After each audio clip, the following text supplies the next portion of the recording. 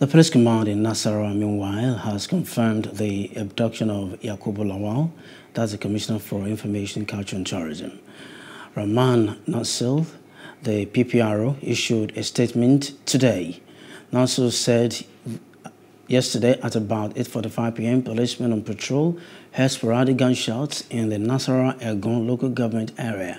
The PPRO called for useful information that would assist security agencies to rescue the victim and arrest the kidnappers.